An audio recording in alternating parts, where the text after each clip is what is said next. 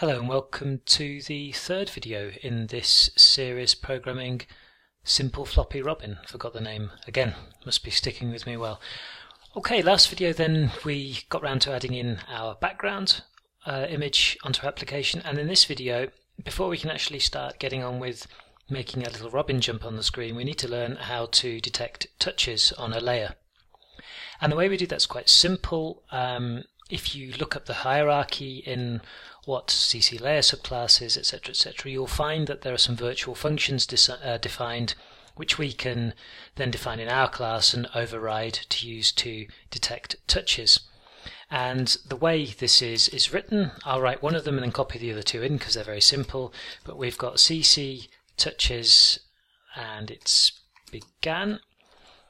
And what these take then as an argument, all of them's the same thing, it's uh, Cocos 2D I need, and it's a CC set. So a pointer to a set, which is just a, a collection if you ever look at the definition of that inside the library. And then we also have an event also, which we won't be needing to deal with and it's a pointer to event like so. So this is a function that we're going to override that tells when a touch has begun. So it says when the finger goes down or fingers go down on the screen, then it, this function is called and this set uh, contains the point of where these touches were made.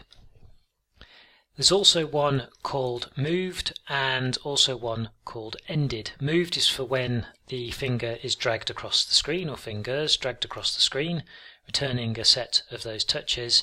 And last but not least, we then have the ended, which is where the finger actually lifts up from the screen. And why has it got some red code here? Okay, good. So what I want to do now then is take these three functions and we're going to drop these then inside the hello world scene.cpp. By the way, we're inside the hello world scene.h. It should have been obvious hopefully already. I'm going to take these three functions and just drop those now, I think above the initialization function here, the init function, like so, and just quickly put some brackets in here so everything looks a little bit neater than it did anyway so I'll just copy and paste that and paste that there. Good. And now we can deal with our functions. The one thing also I need of course is the hello world as well like this I think. And the virtual needs to go off. Somebody is a tiny little bit ring rusty. Okay good. So that's done. So now we've got those defined we can look at actually using these functions to detect our touches. Now, I've already said that the one we're really going to be interested in is the one where the finger lifts up for our representation. Of course, we can do something with multi-touch or we don't want maybe somebody to move their finger, but let's just keep this as simple as possible. The only one we're going to be interested in is this function here, the touches ended, because we want to know when a finger is lifted up and we want to know at what point that finger was lifted up. Okay, so we're going to, for the sake of a tutorial, keep things as simple as possible. And the way we do this is actually quite simple. We have a set here, which you can go and look at the definition of this class inside Cocos 2D. That's what's great about the framework. It's all open source, you can see. But essentially we can have an iterator, just like a vector, say, in C++, where we loop through all of the, in this case, touches, and they belong to a class called CC touch. So we'll cast our iterator to this class, and then we'll get the coordinates of this um, touch using uh, something called get location, which converts its location into something represented by our screen dimensions, our GL view, and then we use this point that we get to do something with this point. So without rambling on anymore, because it probably makes no sense, what we need to iterate through it, we need something called a CC set iterator, and we'll just call that I, and then we need something called a touch. So we've got CC touch and we'll call that touch and it's a pointer to that object. And now we have a CC point, which is a structure, and we'll call tap. And that's where our tap was, where we tapped the screen, where the finger left the screen, and we'll get that value from the touch. You'll see how that's done. So now we've got all that information, I'm just going to scroll down a little bit. We can now run our iterator. So we want to say for and the initialization here is for our iterator equals p touches and there should be a begin and we want to keep going whilst we're not at the end. So it's similar to how you would um, iterate through a vector then say in C++, p touches and end, and then we just increment our iterator by one in that way. And now when we've got something out of here, the first thing we need to do is get our touch, and as with most things in C++, we need to cast our touch to a uh, CC touch pointer of whatever is pointed at by our iterator. And now we can say that if we actually have something, so we're not pointing to nothing, then we can do something with it. So now that we've got something, we need to get the location on our screen, and to do that we just use touch and get location. And now that we have that location, we can do something with it. In this case, for this video, we're just going to say cc log, and we're going to say touched at, and I'm just going to say percentage point two f and percentage point two f and then we just want our tap dot and x and our tap dot y which is the location of where the screen was touched.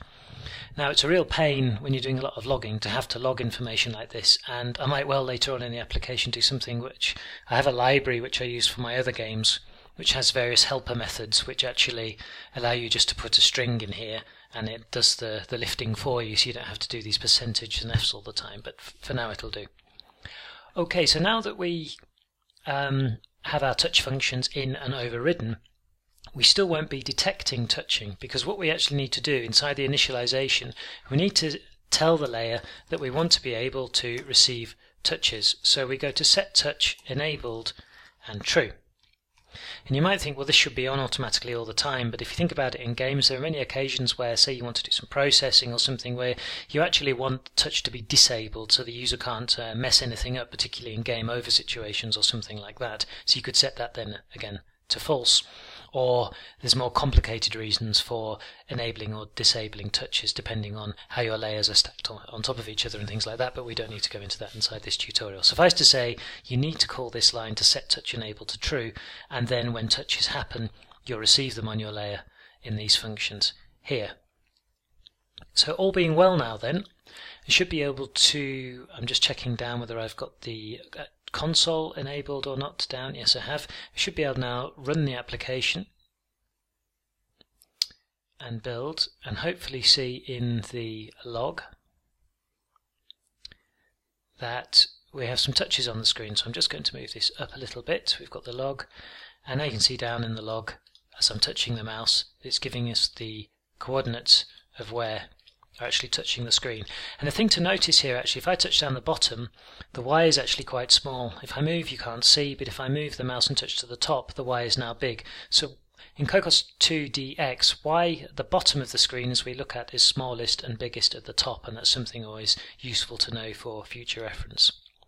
The other thing that I glossed over just now was this CC log here. That's a macro which again you can go and look in the source at the definition provided by the Cocos 2DX framework which simply logs things out to the console and then when you compile in release mode these logs then don't print to the console anymore so it's a convenient way of enabling or dis disabling debugging information.